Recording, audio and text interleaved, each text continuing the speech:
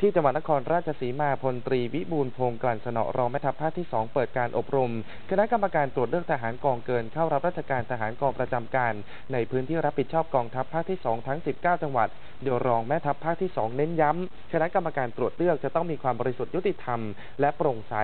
พร้อมเตือนผู้ปกครองอย่าหลงเชื่อ ผู้แอบอ้างวิ่งเต้น ไม่ต้องถูกรับเลือกเกณฑ์ทหาร